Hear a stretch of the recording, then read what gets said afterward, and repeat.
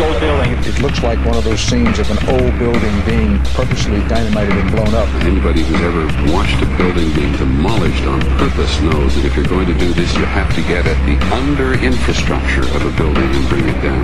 The way the structure is collapsing, this was the result of something that was planned. It's not accidental that the first tower just happened to collapse and then the second tower just happened to collapse in exactly the same way. How they accomplished this, we don't know. The building collapsed to dust. You don't find a desk. You don't find a chair. You don't find a telephone, a computer. The biggest piece of a telephone I found was half of the keypad, and it was about this big. What happened to the concrete? The concrete was pulverized from river to river. There was dust powder two, three inches thick. The concrete was just uh, pulverized. Reminiscent of those pictures we've all seen too much on television before, when a building was deliberately destroyed by well-placed dynamite to knock it down. It's what they had detonated. They, Yeah, they detonated, were planned yeah. to take down a building. Boom, boom, boom, boom, boom. I heard a second explosion. There was a uh, heavy-duty explosion. Then there's those secondary explosions and then the subsequent collapses. explosion blew and it, it knocked everybody over. To me, it sounded like an explosion. It sounded like gunfire. Bang, bang, bang, bang, bang. And then all of a sudden, three big explosions. We heard a big explosion coming down. And then the entire top of the building just blew up We saw some kind of explosion. by the force of the explosions. Big explosion. Blew us back into the eighth floor. Then we get to the lobby, there's this big explosion. Allowed me to Brazil, a bomb had exploded there. A huge explosion now raining debris. It's been a huge explosion. Huge explosion that we all heard and felt. We just witnessed some kind of follow-up explosion. We heard a very loud blast, an explosion. a secondary explosion at Tower 110. That is another bomb going off. He thinks that there were actually devices that were planted in the building. Planted in the building.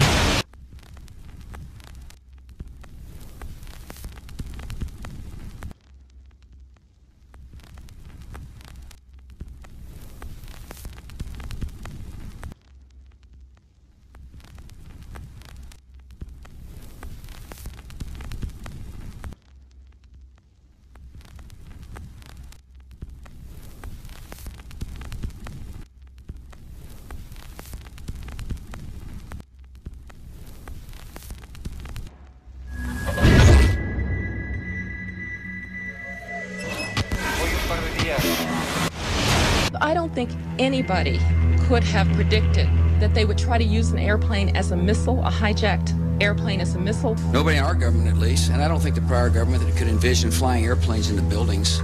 No specific threat involving uh, really a domestic operation or involving uh, what happened, obviously, uh, the city's uh, airliner and so There uh, were uh, no warning signs that I'm aware of. USA Today reports that in the two years before the attacks on September the 11th, NORAD conducted exercises using hijacked airliners as weapons.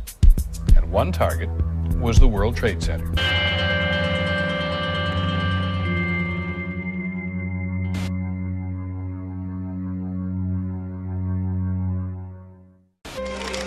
Confidential documents from the Philippines obtained by CNN, the plan was clear.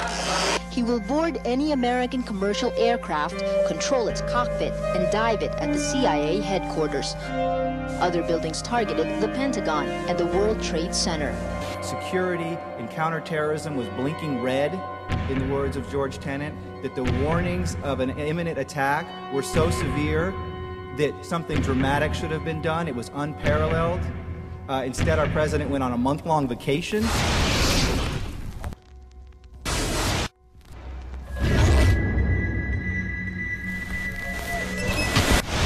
The head of Pakistani intelligence at the ISI, Mahmoud Ahmed, requested Omar Sheikh to wire $100,000 to Mohammed Atta, who was the lead hijacker. Did hijacker Mohammed Atta received wire transfers via Pakistan. The man sending the money to Atta is believed to be Ahmed Umar Saeed Sheikh. Omar Sheikh admitted he was supported by the Pakistan government's intelligence service, the ISI.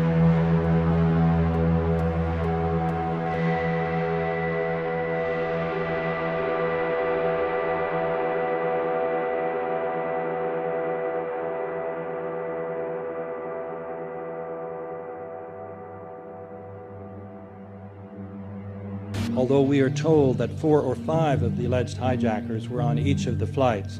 If so, their names should have been on the flight manifests. But the flight manifests that have been released contain neither the names of the alleged hijackers nor any Arab names whatsoever. We know that the men who were supposedly the hijackers had their houses, cars, credit cards paid for by the U.S. government. They were, in truth, agents. Evidence was also apparently planted. The passport of one of the hijackers on Flight 11 was allegedly found in the rubble. Goes through the fireball, through the side of the plane, and comes down the ground unscathed. But something happened. For six months, they reported they had this passport. Boy, we've got it. We've got the proof. And then the guy stood up and was alive. Several of these 19 men are still alive.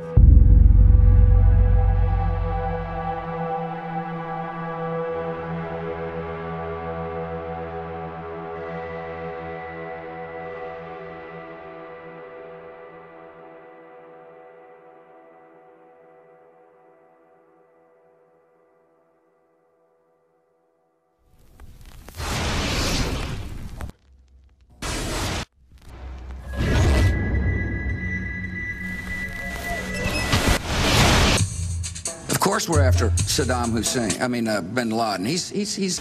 January 2001, the Bush administration orders the FBI and intelligence agencies to back off investigations involving the bin Laden family, including two of Osama bin Laden's relatives, who were living, guess where, in Falls Church, Virginia, right next to CIA headquarters. When he was already America's most wanted criminal, he reportedly spent two weeks in the American hospital in Dubai, was treated by an American doctor, and visited by the local CIA agent.